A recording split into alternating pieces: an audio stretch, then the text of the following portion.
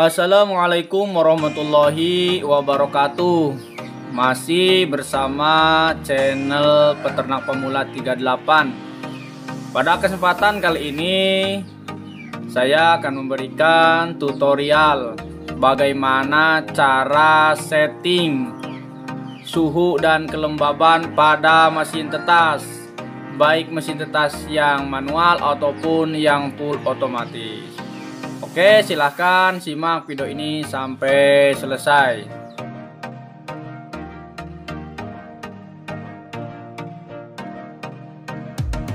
Banyak sekali para penetas telur yang mengalami kegagalan dalam menetaskan telur itu dikarenakan tidak sesuai pengaturan suhu dan kelembabannya dengan apa yang diinginkan telur tersebut. Ya, karena telur yang dirami indukannya itu mempunyai suhu yang pas. Apa yang diinginkan telur tersebut, maka telur bisa menetas dengan sempurna. Namun, jika suhu dan kelembaban tidak sesuai apa yang diinginkan dengan telur, maka kemungkinan dan dipastikan telur tidak akan teman-teman sebelum kita setting suhu dan pengaturan pada mesin tetas.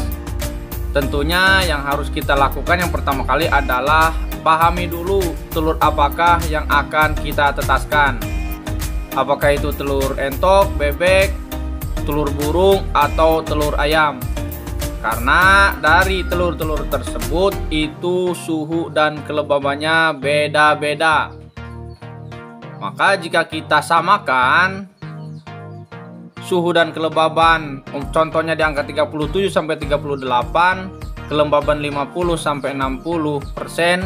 Kita samakan setiap telur seperti itu maka kemungkinan gagalnya sangat besar. Maka perlu teman-teman ketahui untuk telur ayam itu suhunya 37 sampai 38 derajat celcius dan kelembaban 50 sampai 60% itu untuk telur ayam. Nah, untuk telur entok dan bebek itu suhunya sama 37 sampai 38 derajat Celcius namun yang membedakannya adalah kelembabannya yaitu di angka 70 sampai 80% karena entok dan bebek itu termasuk kategori unggas air, maka butuh kelembaban yang tinggi. Nah, lalu untuk telur burung itu ada kisaran di kisaran 36 sampai 37 derajat Celcius. Kelembaban yaitu tinggi di angka 60 sampai 80 derajat Celcius. Nah, itu untuk telur demikian itu ya. Nanti setelah kita tahu telur apa yang kita tetaskan, langkah yang selanjutnya adalah kita mulai setting suhu terlebih dahulu. Untuk suhu itu teman-teman jangan terpaku pada termostat ini. Jangan terpaku hanya pada termostat, tapi usahakan untuk teman-teman itu mempunyai termometer kayu Nah, yang jadi patokan nanti termometer kayu karena termometer kayu itu menurut saya keakuratannya lebih tinggi dibanding dengan hanya menggunakan termostat.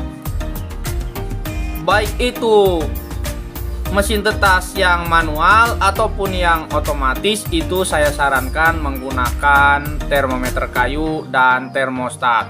Itu saran saya. Nah, jika perbedaan antara termometer kayu dan termostat suhunya itu kan biasanya biasanya akan terjadi perbedaan di termometer kayu 36 derajat Celcius tapi di termostat itu ada 38 derajat Celcius. Nah jika terjadi perbedaan seperti itu maka yang jadi patokan utama adalah termometer kayu. Itu pengalaman saya seperti itu. Untuk merek itu terserah silahkan teman-teman namun yang saya pakai adalah merek Gea.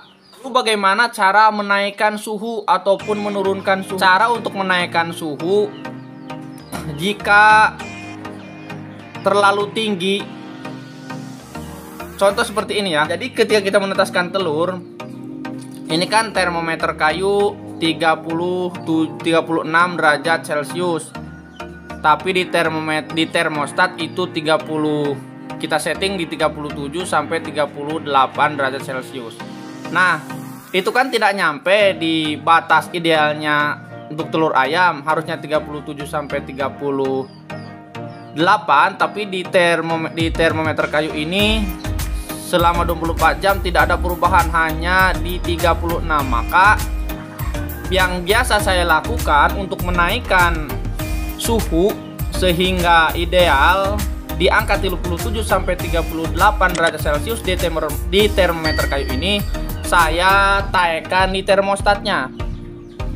Tadinya 37 sampai 38 tapi ternyata di termometer kayu hanya 36 maka saya tingkatkan dari 37 ke 38,5 di termostatnya.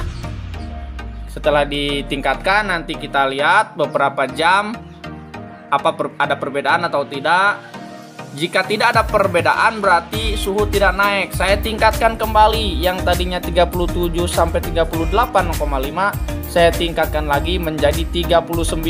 Nah, ini bahkan ini 39,2. Karena di termometer kayu punya saya ini ini ideal 37 derajat jika saya setting 37 sampai 39,2 ini di termometer kayu punya saya ini adalah 37 derajat Celcius. Maka itu yang saya lakukan ketika ingin menaikkan suhu di dalam mesin tetas. Nah, terus bagaimana kok seperti ini, Bang? Jadi ketika ini sudah saya naikkan ke 39 bahkan 39,5 bahkan 340 umpamanya ya 37 sampai 40 tetap di dalam tidak naik suhunya hanya 36 derajat celcius di termometer kayu maka silahkan teman-teman tambah lampunya. Dengan ditambah lampu itu otomatis akan naik suhunya di termometer kayu. Karena di termostat kan udah kita setting sampai maksimal tapi tetap tidak naik suhunya maka silahkan ditambah lampunya. Yang umpamanya punya teman-teman hanya satu lampunya ya karena kapasitas kecil silahkan lampunya ditambah menjadi dua.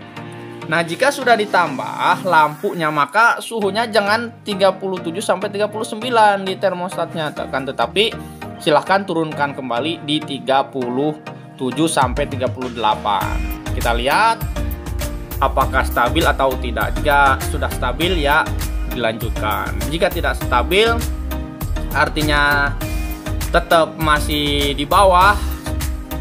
Masih 36,5 umpamanya sudah tambah lampu sudah.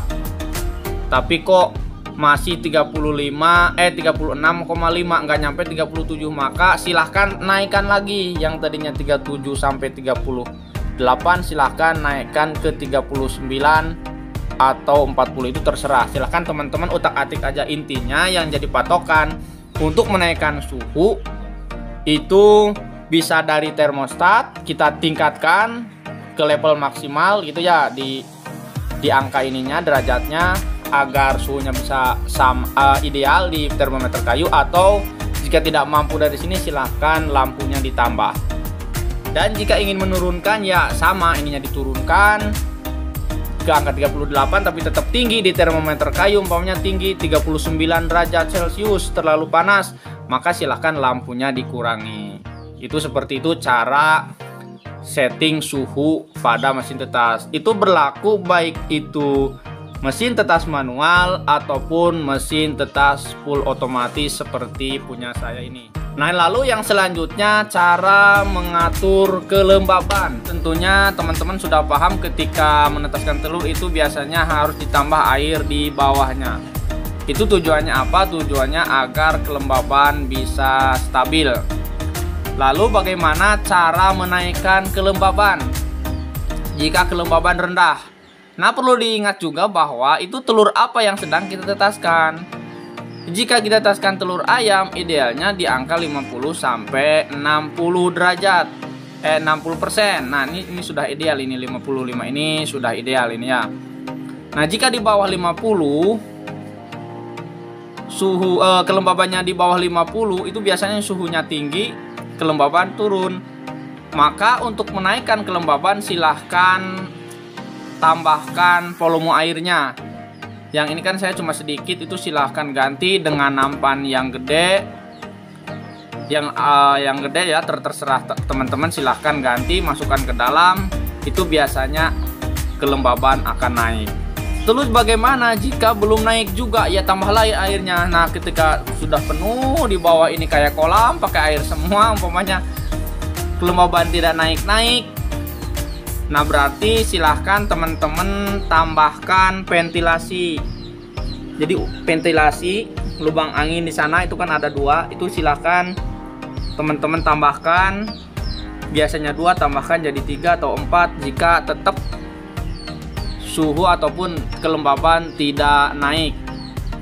Itu cara menaikkan kelembaban seperti itu. Jadi ganti ataupun ganti wadahnya dengan yang besar tambah volume airnya agar lebih banyak supaya kelembaban bisa naik.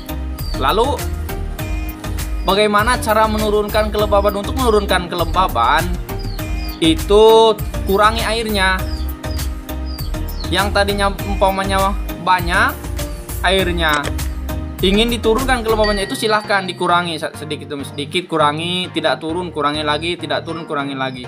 Nah gimana bang? Ini air sudah dikeluarin se semua tapi kelembaban tetap tidak turun nah berarti tidak usah ditambahkan air berarti dari dari ruangan ataupun ruangan tersebut itu kelembabannya sudah tinggi karena perlu dipahami oleh teman-teman kelembaban itu tiap desa tiap daerah itu beda-beda tiap daerah itu kelembabannya beda-beda.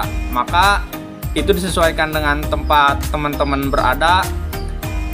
Jika tidak e, menambahkan air, tetap kelembaban sudah stabil.